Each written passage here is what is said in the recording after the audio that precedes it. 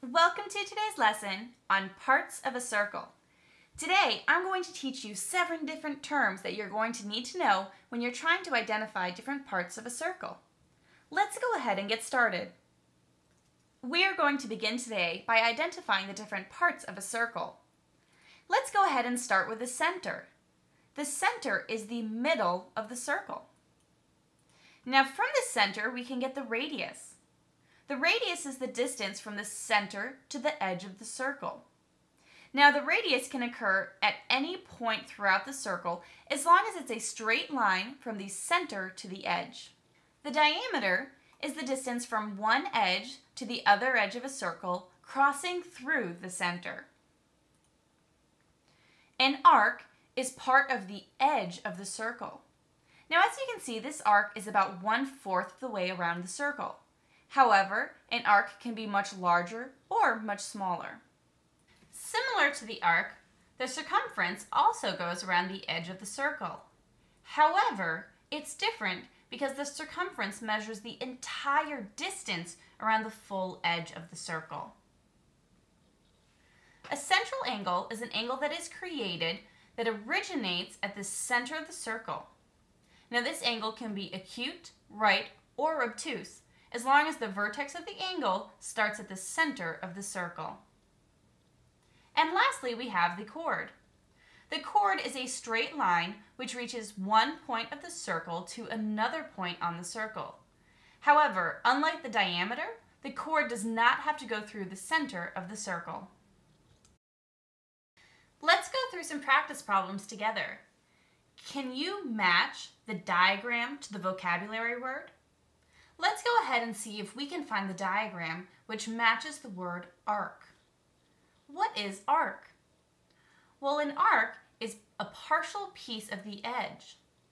So if we look through our different pictures, we're going to look through until we see part of our edge highlighted. And as you can see, we have this arc around our circle highlighted here, which means that's our diagram for arc. Let's go ahead and see if we can find the center of the circle. Which diagram best shows the middle of the circle? Well, if we look through our different diagrams, we only see one that identifies the center of the circle. Let's go ahead and look for the radius. Remember, the radius starts at the center of the circle and moves in a straight line to the edge of the circle. And if we look through our first diagram, we do have a line starting with the center of the circle moving to the edge, but we have more than one, so this represents an angle, not the radius. But our next diagram does show the radius of the circle. Let's move on to our next one, circumference. Which picture shows the entire distance around the edge of the circle? Well, we've already represented arc, and this didn't show the entire distance around the edge of the circle. However, this diagram does. Let's look for the chord. Remember, the chord is a straight line that reaches one edge and another edge on the circle. Now we have two diagrams which show a line going from one edge to the other edge of the circle. However, this line goes straight through the center, whereas this one does not. And since a chord does not need to go through the center, that is going to be our diagram. All right, we have two more words left. Let's look for the central angle. The central angle is an angle whose vertex is at the center of the circle. Now we have two pictures left. And one picture represents an angle where the vertex is at the center of the circle. So that picture represents our central angle. And lastly, that leaves the diameter. The diameter is a straight line that reaches from one edge of the circle to the other, which passes through the center.